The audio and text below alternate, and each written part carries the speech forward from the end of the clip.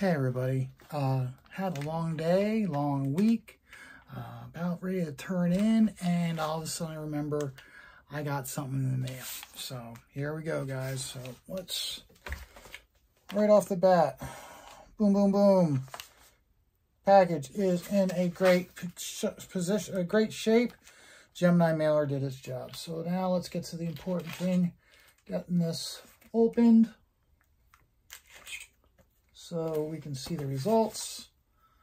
So let's see here. Okay. So, mm.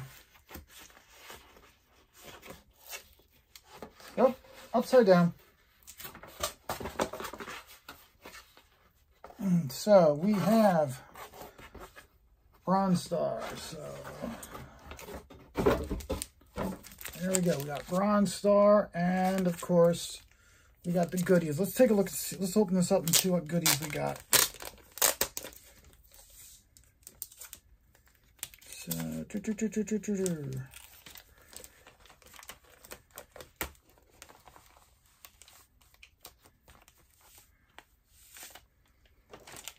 Okay, so we have a postcard, which is an advertisement for Florida Man 2.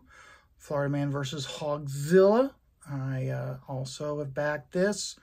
Um, loved, loved, loved the first one. So, of course, I was no brainer. Had to get, had to back the second one. So, and we have a Pat Broderick werewolf print. And this is black and white, which is gorgeous. Look at that.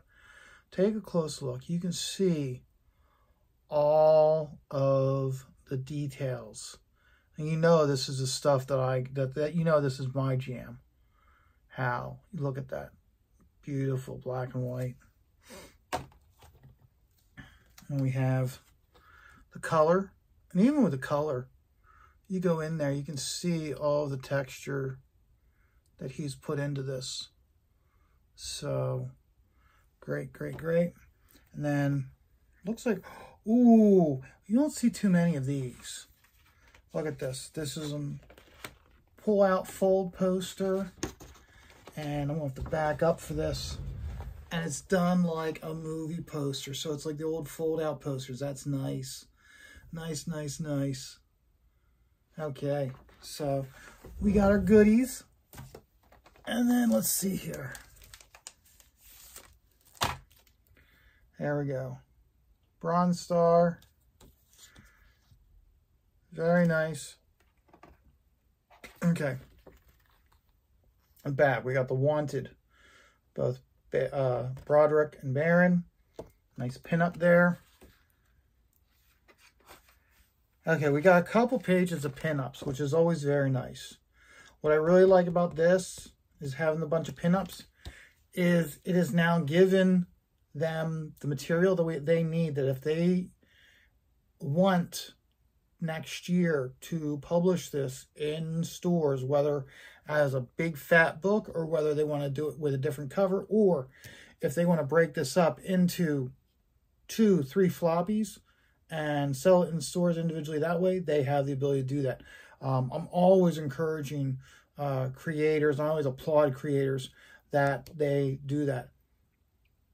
That way they have the ability to get it out there, get the product out there into the stores. That way the, the, the regular normies that don't follow Comicsgate stuff or the crowdfunding scene have the opportunity to get good stuff that honestly we used to get from the mainstream, but we don't get anymore. Um, another thing also to point out, you guys know me. Okay, this is a Doritos book. They gave, yeah, they put, they had this available on multiple platforms or crowdfunded this from multiple platforms. That's how you do it. Don't allow an ideology of, oh, I have a beef against Kickstarter, therefore I'm never going to go there. I'm only going to go to Indiegogo. No, okay.